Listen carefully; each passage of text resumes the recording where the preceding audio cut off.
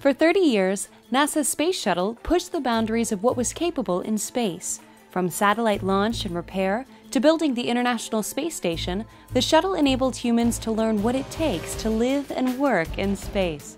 Now that the Space Shuttle era has ended, NASA is busy writing the next chapters in human spaceflight. Join us as we explore the future of human space exploration. I'm Molly McKinney. And I'm Caleb Kinchlow. And, and this, this, is NASA 360.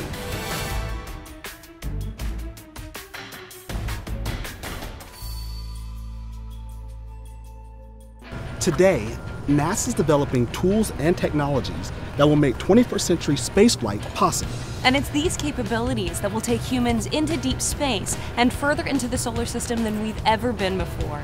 It was a generation ago when Neil Armstrong took one giant leap forward. And now, NASA is prepared to take humanity's next giant leap. NASA is looking forward with anticipation to a new era of human spaceflight. This new era will have a profound impact on your life, with countless possibilities in the coming years. After the Apollo program, which took Americans to the moon, the Space Shuttle program gave us 30 years of outstanding achievement in space. The shuttle enabled the space program to conduct space research, fly science observatories, launch satellites, and assemble the International Space Station. The station, a partnership among five agencies representing 15 nations, has been continuously crewed since November 2000 enabling astronauts to gain valuable insight on how to live and work in space 365 days a year. In collaboration with engineers and scientists on Earth, astronauts have collected and stored solar energy, recycled wastewater to minimize water needs from Earth, conserved water usage, created the air they breathe by splitting water molecules with electricity, grown plants without gravity, and kept their bodies healthy in zero gravity. Research on board the space station has provided advances in biology and biotechnology, physics, material sciences, robotics, and many other disciplines. The station has lifted us high above political, cultural, language, and national boundaries to observe hurricanes, tsunamis, forest fires, and volcanic action from afar while circling the world every 90 minutes.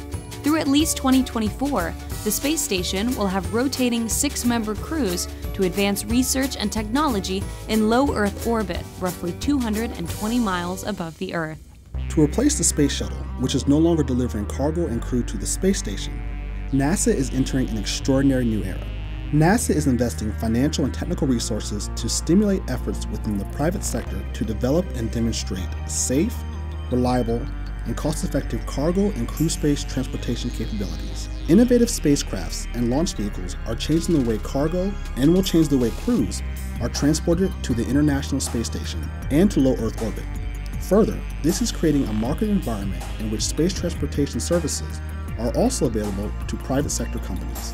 Having opened low Earth transportation to U.S. industry, NASA is focusing on developing two necessary elements for future human deep space exploration a crew vehicle called Orion Multipurpose Crew Vehicle, and a heavy lift rocket known as the Space Launch System, or SLS.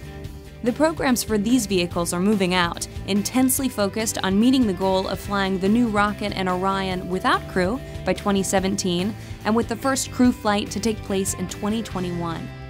Using the lessons learned from over 50 years of space flight, NASA is testing and building an advanced space exploration system that will take our astronauts to deep space destinations humans have never visited and return them safely to Earth. The Orion will be outfitted for long duration missions that reach far beyond low Earth orbit. For this reason, the spacecraft will incorporate innovations and advancements in the crew escape system, electrical power system, rocket engines, navigation and flight control systems, and communication systems. Orion will also require radiation protection for the crew and safe, reliable life support systems. This new spacecraft will be launched on the SLS rocket, which will send astronaut explorers on more challenging and distant missions. The rocket will be the most capable U.S. launch vehicle built to date, and with the Orion, will enable human exploration into the solar system. To journey into deep space, NASA is pursuing an integrated space exploration strategy that supports both science and human spaceflight goals and advances space exploration technology. Mission analysis and international discussions supporting this strategy are ongoing. NASA will ramp up our capabilities to reach and operate at a series of increasingly demanding destinations while advancing our technological capabilities with each step forward. This will include early test and demonstration flights between the Earth and Moon, with NASA planning to redirect a small asteroid to a distant retrograde lunar orbit and send humans to explore it, then possibly visit one of Mars's moons, or the surface of the red planet itself. By visiting a captured asteroid in lunar orbit, astronauts will learn how to do long term space operations in a deep space environment while maintaining close proximity to Earth, and gain vital information exploring territory untouched by humans since the formation of the solar system. An asteroid mission requires new space transportation vehicles and systems that are capable of operating in an environment with almost no gravitational field. NASA is conceptualizing habitat and spacewalking systems with new spacesuit designs and anchoring tools, and robots that can work side by side with the crew or be remotely controlled. Traveling to Mars is our ultimate goal. Why Mars? Like Earth, Mars has an atmosphere, water, ice, and evolving geology. Robotic rovers that NASA has sent to Mars are investigating whether the planet has ever been capable of supporting life. Because of its Earth like attributes, Mars is seen as an excellent candidate for human exploration as we expand into the solar system. So, NASA has its sights set on the red planet, but getting there will be no easy task. Even now, we're looking at the solvable challenges of human missions to Mars and are developing technologies to pave the way. It could take up to six months to reach Mars. Then, because of flight trajectories, astronauts will have to leave within 30 days or remain on Mars for 500 days. On the way to Mars, the crew will have to cope with different kinds of stress in a high risk, confined environment with limited communication with Earth. As NASA travels through the solar system, astronauts will need to communicate quickly with other spacecraft and Earth, and in emergencies, even hold video conferences. For this, NASA is developing a communication system to operate at higher radio frequencies and at optical frequencies using laser communication systems. A new internet system is being developed that will give each planet its own domain name, for example, www.alphabase.mars. The new system will even compensate for the great time delay in communicating between bodies in space, which is 29 minutes one way when Mars is closest to the Earth. The long voyage through deep space is filled with many dangers, including protons from solar flares, gamma rays from distant newborn black holes, and galactic cosmic rays from outside our solar system. Astronauts have not experienced complete exposure to deep space cosmic rays since the Apollo missions, which were of short duration. When astronauts are on the International Space Station, Earth intercepts about one third of cosmic rays, and one third are deflected by Earth's magnetic field. So before sending humans into deep space, we need to research and develop new technologies and materials to protect astronauts. There are other health hazards to research before attempting long voyages as well.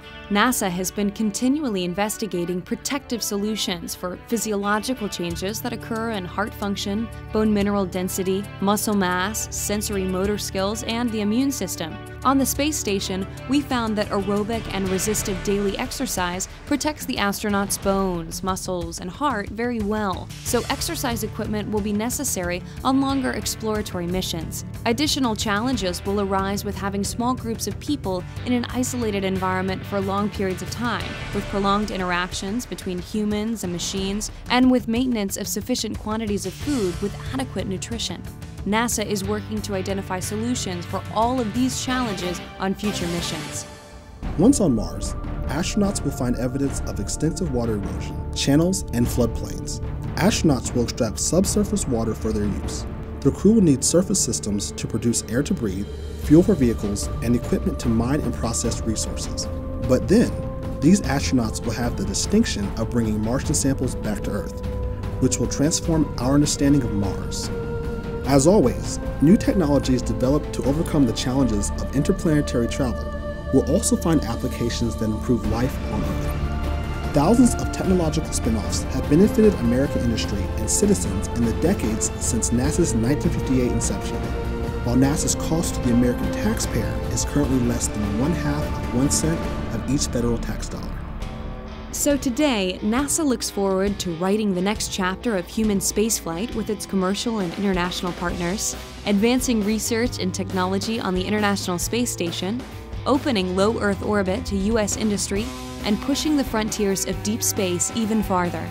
As NASA's next chapter in human spaceflight evolves, there are new and increasing opportunities for each citizen to experience low Earth orbit, to become involved in new facets of an expanding space economy, and to view new vistas in deep space virtually through NASA's exploration.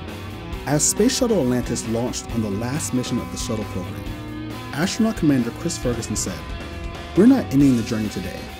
We're completing a chapter of a journey that will never end. Please join us for the next exciting chapter of NASA's journey.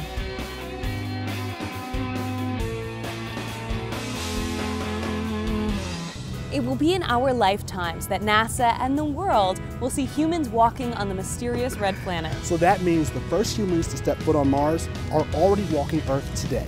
It's so cool. I'm Molly McKinney. And I'm Caleb Kinchlow, and this is NASA 360.